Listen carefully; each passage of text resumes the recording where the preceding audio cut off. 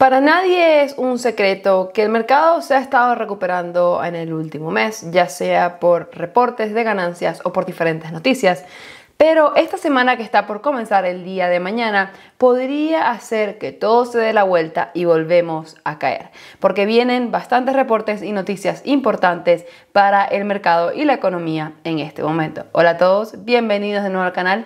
El día de hoy quiero hablar sobre qué va a pasar esta semana, qué deberíamos esperar de ella y cómo deberíamos prepararnos para ella. Si eres nuevo en mi canal, bienvenido, considera suscribirte y darle like y recuerda que tengo un grupo de Discord, el cual es el primer link abajo en la descripción. Como podemos ver, el S&P 500 cerró abajo en rojo el día viernes, pero en lo que va de mes se encuentra arriba 1.28%, aunque si lo vemos acá desde el primero de julio está arriba 3.56%. Lo mismo con el Dow Jones y lo mismo con el Nasdaq. Ahora, eso no quiere decir que el mercado ya haya tocado fondo y que de ahora en adelante vamos es para arriba y a recuperarse, pero es definitivamente un respiro que se necesitaba en el mercado o capaz el mercado comenzando a recuperarse dependiendo de las noticias de esta semana. La primera noticia más importante en mi opinión es la Fed. El día 26 y 27 de julio hay una reunión de la Fed nuevamente en la cual se va a hablar cuáles son las acciones que van a tomar ahora de acuerdo a cómo se encuentra la economía. Recuerden que la inflación se reportó hace unas semanas, está en 9.1%, mucho más elevado de lo esperado. También se reportó cómo está el environment o el mundo de los trabajos y también en los retails. Desde mi punto de vista, una situación bastante rara, unos buenos reportes y otros malos reportes y eso es algo que le lleva a la Fed tomar una decisión para ver si logran hacer que la inflación baje y que también no lleguemos a una recesión, aunque desde mi punto de vista lo más probable es que terminemos en una recesión. No tengo una bolita de cristal, pero es lo que se está viendo y lo que la gran mayoría de personas ya esperan en la economía de los Estados Unidos y en el mundo. Ahora, después de los datos de la inflación mostraron que los precios se dispararon 9.1% en junio, como acabo de decirles, en comparación con el año anterior. Los economistas y los mercados están atentos a cualquier señal de que la Fed podría subir las tasas aún más de lo que insinuó anteriormente, porque recuerden que lo subieron a 0.75 y después de que reportaron una inflación de 9.1, llegan a pensar que capaz lo suben hasta un punto. Eso es algo que nos va a tocar lastimosamente esperar y ver qué pasa. Pero acá podemos ver cómo la inflación se ha estado disparando últimamente.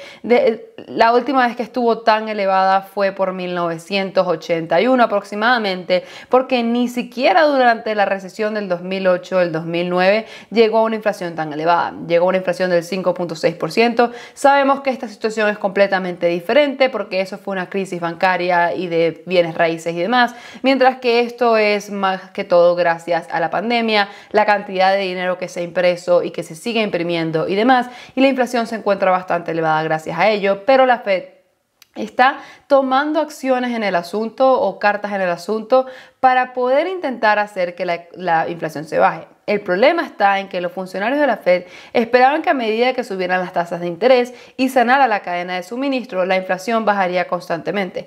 Pero todavía no hay señales de una relajación de los precios. Lo que quiere decir es que van a tener que ser un poquito más estrictos. El problema es que, como les he dicho en videos anteriores, la Fed tiene que llegar a un límite eh, en el que no sea ni tan estricto ni tan suave. Porque si es extrema, extremista, tanto tan suave como muy, muy estricto con la con las eh, tasas de interés y las decisiones que van a tomar, puede afectar a la economía y a nosotros bastante. Es por eso que van poco a poco subiendo 0.5%, 0.75%, hasta llegar a un punto en el que vean que ya la economía no da más para que ellos sigan subiendo. Obviamente, lastimosamente pueden pasarse de ese límite y afectarnos a todos, a la economía y a nosotros los inversionistas también, al igual que las compañías. Pero por ahora, lo que nos queda es esperar y ver qué va a decir la Fed el día 26 y 27. Estaré montando un video esos días hablando sobre lo que dice la Fed. Pero también estaré montando bastantes videos esta semana porque se viene una buena semana decisiva de, en el mercado de los reportes de ganancia, ya que eso también puede mover bastante el mercado, ya que las compañías que van a reportar son grandes y siempre suelen dar buenos datos de cómo se encuentra la economía. Por ejemplo, el día de mañana, el lunes, tenemos a Philips y a Whirlpool, la cual pienso que son interesantes, pero el martes comienza con UPS en la mañana, Coca-Cola, General Motors, General Electric y McDonald's. Ahí vamos a ver muchísimos datos importantes del retail, de cómo está creciendo, si está creciendo o no y cómo se encuentra la economía en el momento. Pero en la tarde tenemos a grandes compañías de tecnología como lo son Alphabet o Google, como lo son Microsoft, Visa y también tenemos otras compañías como Enphase y Chipotle.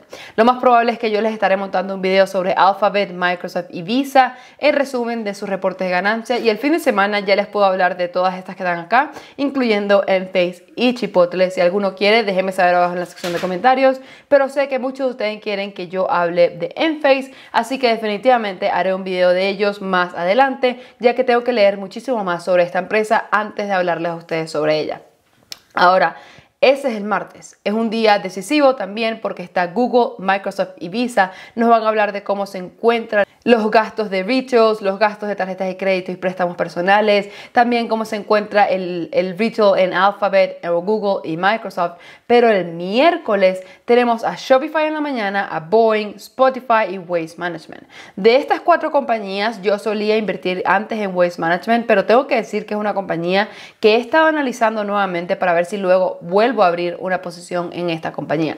Shopify es una compañía que me ha estado llamando la atención porque yo he utilizado sus servicios y la verdad es que me parecen increíbles. Para quien no sepa, yo solía hacer dropshipping y yo utilizaba Shopify para eso y pienso que es obviamente una compañía bastante interesante, innovadora y con potencial. Y más ahora que la acción ha caído tanto, porque como pueden ver se encuentra en 37.35 dólares, casi en precios de los, mm, es mejor dicho, en precios del 2020. Es decir, que toda la subida que tuvo la acción en el 2020, 2021 ha caído hasta el día de hoy. Es decir, que se han perdido todas esas ganancias. Obviamente tenemos que entender que la compañía se convirtió en una compañía muy sobrevalorada en estos puntos que creció 300%. No es normal que la acción crezca tan rápido mientras que la compañía vaya creciendo. Obviamente sabemos que la compañía ha seguido teniendo un excelente crecimiento de ingresos, expansión e innovación, pero la acción eh, desde mi punto de vista exageró en subir tanto. Ahora que ha caído tanto es algo que llama la atención. Y luego Waste Management es una compañía desde mi punto de vista que puede ser a prueba de recesiones, ya que como pueden ver acá, en este año lo que va abajo va 4.8%. Para quien no sepa, Waste Management es las compañías de recolección de basura. Lo más probable es que hayan visto este logo por ahí en algún lado en los camiones o en los potes de basura, como este que pueden ver acá. Y desde mi punto de vista, eso es una compañía que puede ser a prueba de recesión, ya que no importa lo que esté pasando, van a seguir recolectando basura que nosotros votamos al día a día. Y es por eso que me llama la atención solía invertir en ellos, luego vendí y ahora los sigo analizando.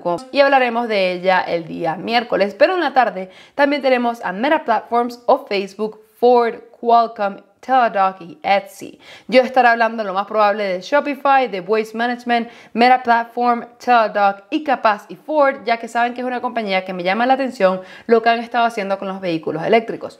Ahora, Teladoc saben que invierto en ella, la compañía está abajo bastante y me gustaría saber cómo les va, ya que esto va a ser una decisión, me ayuda a, tomar una decisión a mí, decido vender y seguir adelante o simplemente seguir invirtiendo en esta compañía. Luego, Waste Management y Shopify para ver cómo les ha ido en su crecimiento. Pero el jueves viene en la mañana Tilray, Pfizer, Valero y Mastercard. Y en la tarde mi compañía favorita Apple, luego Amazon, Roku e Intel. Yo les estaré montando un video sobre Mastercard para compararlo con Visa, con American Express, con PayPal y con Block o o Square cuando reporten, pero también les estaré montando un video sobre Apple, Amazon y Roku, un pequeño resumen de su reporte de ganancia.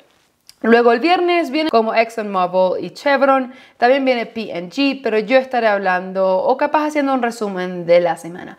Estas son las compañías que van a estar reportando esta semana. Desde mi punto de vista es una semana decisiva no solo por la reunión de la Fed, sino también por los reportes de ganancias de estas compañías que nos van a dar tanta información sobre cómo se encuentra la economía, cómo se encuentran los gastos del retail y demás, ya que hemos visto como la gran mayoría, por no decir todas, han estado anunciando que van a parar, van a parar de traer nuevos empleados a la compañía para de una manera bajar costos, ya que lo más probable es que los gastos de retail estén bajando y es por eso que esta semana es tan importante. Ahora déjame saber abajo en la sección de comentarios qué opinas sobre estas compañías, qué compañía que te gustaría que montara de esta semana un video analizando su reporte de ganancias. Recuerda que tengo un grupo en Discord, por acá te dejo un video recomendado por YouTube y por acá un botón para que te suscribas. Muchísimas gracias y hasta la próxima.